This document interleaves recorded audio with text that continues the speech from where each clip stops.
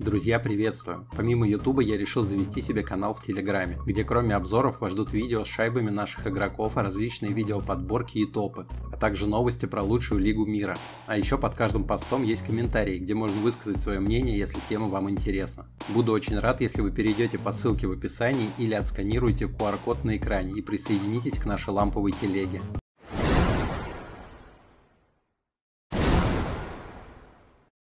In behind for Hartman. He's tied up by Evans. Bolino swoops in on the puck for Minnesota. Brodina drive. Pad save Daccord. Rebound chance for Hartman. And Daccord there to cover. That was shown analytically against Columbus. Kaprizov centers. Zuccarello scores!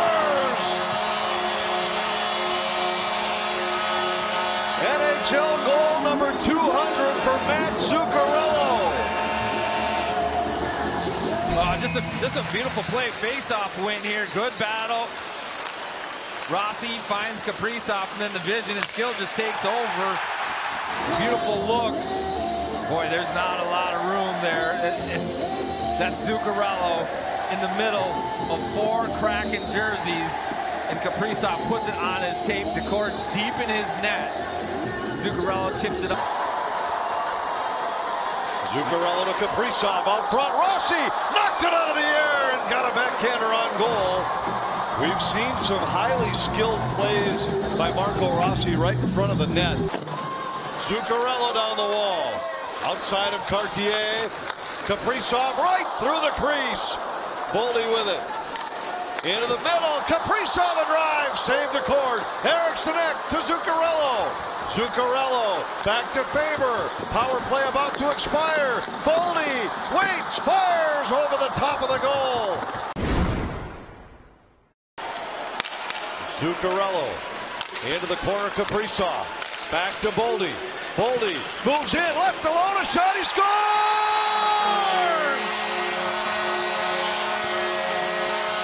The seas just part for Matt Boldy in the slot. He beats Daccord. It's 2-0 Minnesota. Watch the entry here. Boldy's just so calm with his puck. He fumbles this pass a little bit, but Tanev doesn't go at him. He sits back, and because that, the Wild gain the zone, little time, and now more patience with his puck. Boldy's like, I'll just wait. Nobody's coming. I'll wait. He waits for the lane, drags it to the middle, takes dangerous ice, and, and Brandon Tanev just, I don't know if he can't find his edge or he's lost, swimming somewhere in the slot. You mentioned it during the first power play. Their puck retrieval is so efficient. McCann a shot, save Fleury. Rebound loose. Eberle hammering away. They score. And Seattle with a quick answer. Wild asking if there maybe could have been a whistle at some point here with the puck underneath Fleury, but Eberle saw it the whole way. And it's two to one. Fleury's pad into the back of the net. But Fleury doesn't handle this shot well. He doesn't know where it is. Eberle collapsing down on him. Doesn't get it the first time, and it's sitting there on the goal line. I think this one's going to count. He does get up under the pad of Fleury, but he, he's on the puck first down there. Yeah, and I'm not so sure Fleury's not the one who drags it across the line himself Right. with his pad. Right. And now here comes Schwartz. Burakovsky centers. Larsson in alone, and Fleury with a save. As the forwards on the kill, Spurgeon, Middleton, the defenseman. Fleury with a save, rebounds loose. Spurgeon trying to clear it away. Fleury's down. Dunn fires. Glove save, Fleury. What a save that was. My goodness. How does he see that through traffic? Unbelievable. McCann with it. Down low to Eberle. Back to McCann. Dunn. Burakovsky moves in a shot. Fleury got a piece of it. Burakovsky again out for Dunn at the line. McCann moves in. Fires off the post. McCann back for Dunn. Burakovsky fires. Eberle scores. And the power play goal ties it for Seattle. Well, Seattle's clearly scouted the wild penalty kill. They tried the same play earlier. They're going to that far side and watch the body position of Eberle. This is the first chance. That's off the post by McCann, short side. Now Eberle, number seven, he just goes that back post and he gets big. That's a kick. They're going to look at this one. If he redirects it, it's a good goal.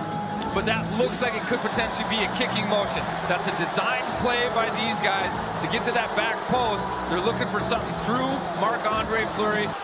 Burakovsky gives to McCann. Back in the middle Dunn. Eberle sent it across. A sliding save by Fleury.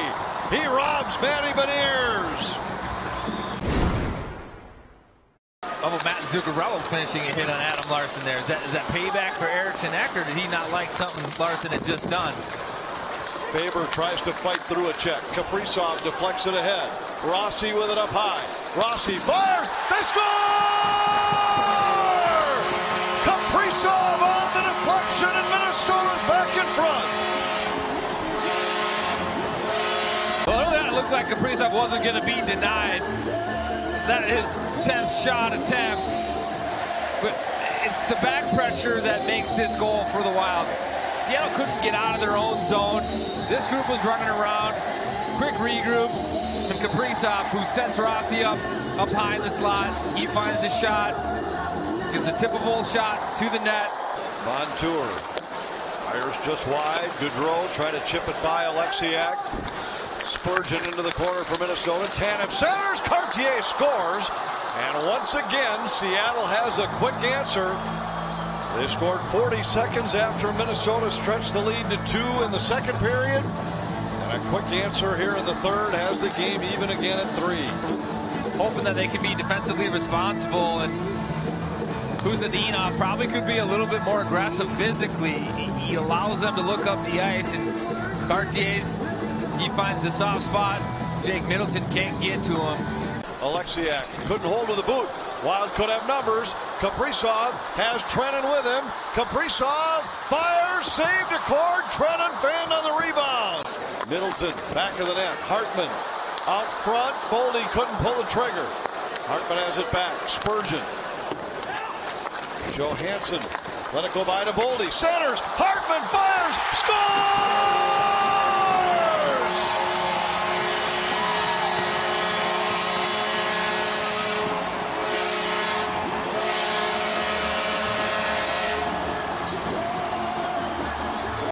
Attempt right here. This one ends up in the back of the net. But it's Boldy. He picks his puck up. He looked before, collects it. Perfect pass, backhand. No look, spinorama, right on the tape of Hartman. I think in some ways it surprises Hartman even a little bit. He goes back far side against the grain, and the gloves have been abused in this game. Another one over the top of Daccord.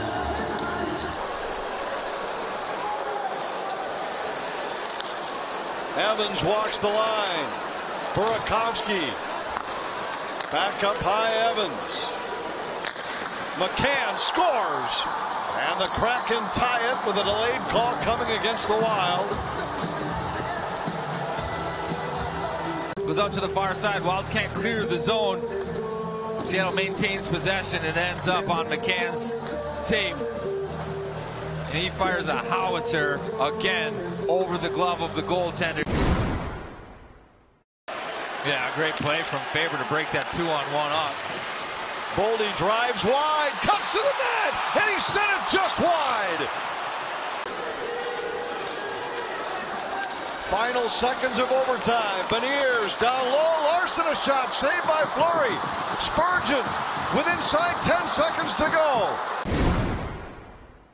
Zuccarello on the attack, and here we go.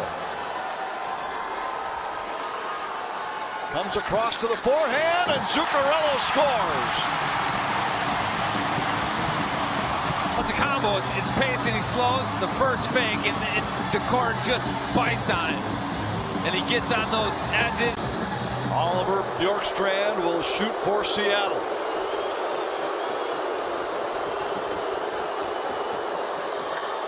And he scores. Outweighted Fleury, beat him high to the glove side, and it's 1-1. He slows down again pace, and he's, you're right, he just outweighs Marc-Andre Fleury. Wait, wait, wait, and that glove goes down just a couple of... Jordan Eberle, two goals in the game tonight. He scores, and Seattle has the edge in the shootout. He comes in, he keeps it on the forehand, and then he just goes five hole. And it's it's a power five Ben's flurry stick